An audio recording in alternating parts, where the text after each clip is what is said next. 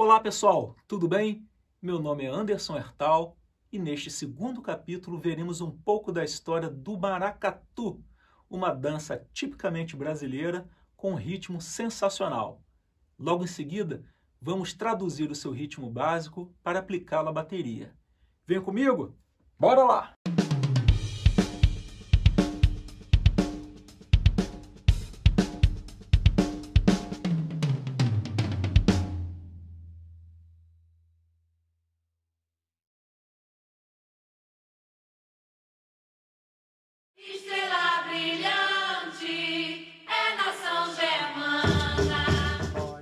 Patrimônio cultural brasileiro, o maracatu é uma dança de nosso folclore que herdou forte influência dos povos indígenas que aqui viviam e também dos africanos.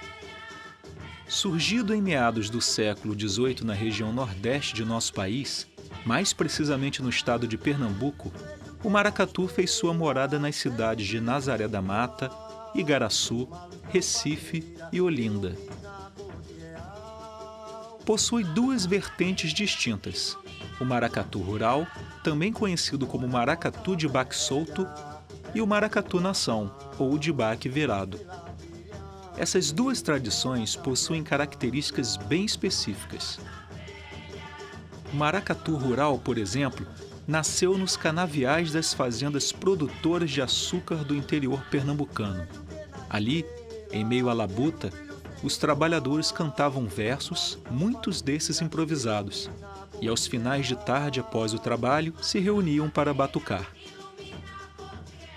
Quanto ao maracatu nação, este surgiu nas senzalas e terreiros de candomblé de Pernambuco.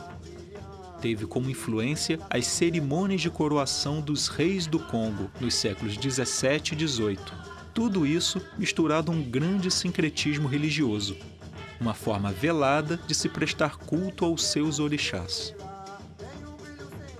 Há ainda outras características existentes que diferem segundo a corrente de maracatu.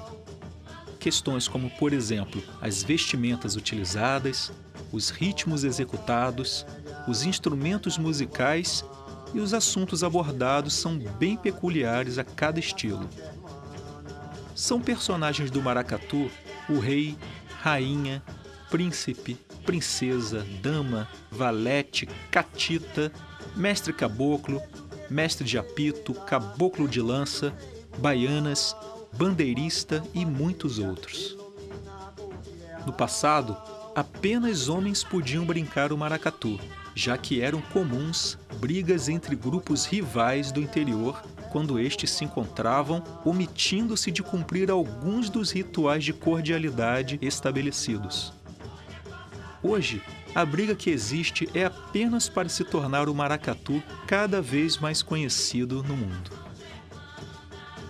Foi somente a partir dos anos 70 que passaram a ser aceitas mulheres nos grupos de maracatu, o que trouxe ainda mais riqueza a esta arte, que atualmente é mais festejada durante o carnaval.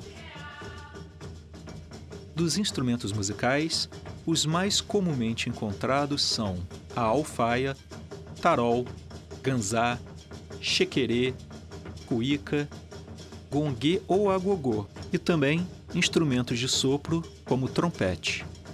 Destes, possivelmente o que mais chama a atenção é a alfaia, um grande tambor responsável pelo som grave e pela marcação pesada que vemos no maracatu nação. Então vamos lá, pessoal. Nós vimos que existem dois tipos de maracatu: o maracatu nação e o maracatu rural. A levada que eu vou passar para vocês corresponde à do maracatu nação, que é bem diferente da levada do maracatu rural, ok? De uma maneira geral, o maracatu é uma dança de compasso quaternário, ou seja, de quatro tempos, onde sempre se conta um, dois, três, quatro. Um, dois, três, quatro. E assim por diante. Vamos começar pela caixa. Com as duas mãos, vamos tocar alternadamente, começando com a mão esquerda, nos tempos 1, 2, 3, 4. E nas subdivisões I e A, dessa forma.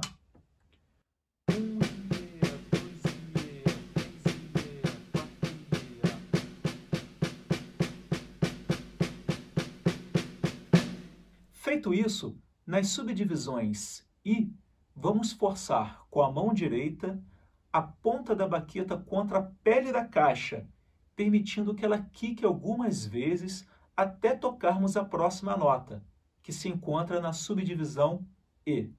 Assim.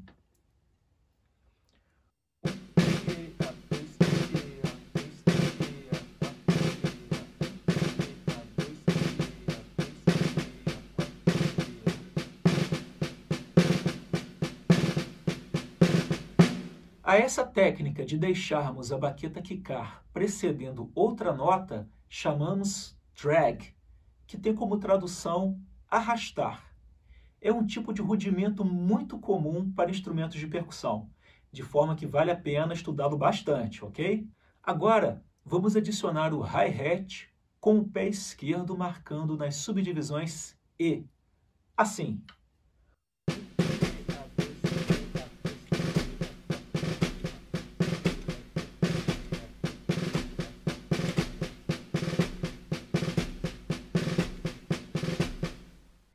Por fim, vamos adicionar a essa brincadeira toda o bumbo, que faz o papel das alfaias presentes no maracatu.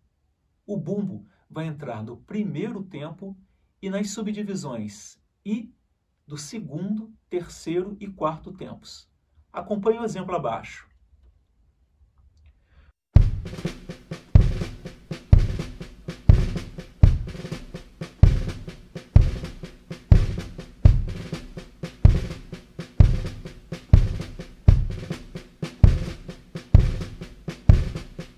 Agora vai uma dica. Para conseguirmos simular melhor o peso do som do maracatu, seria legal acentuarmos o bumbo e também a caixa nos momentos em que essas duas peças se encontram. Isso vai dar um swing a mais na nossa levada. Saquem só!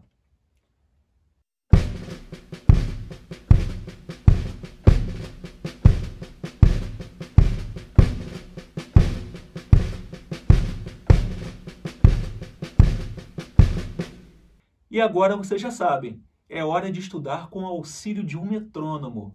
Vamos estudar de 50 a 90 BPM, ou seja, 90 batidas por minuto.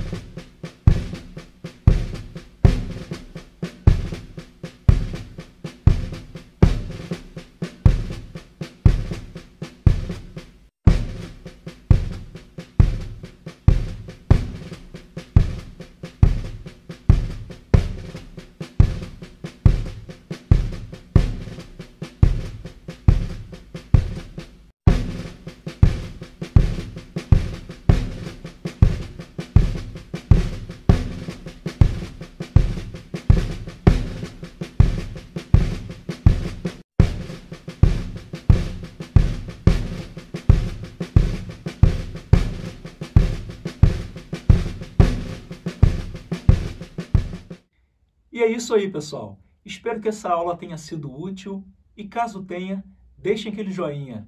Um grande abraço a todos.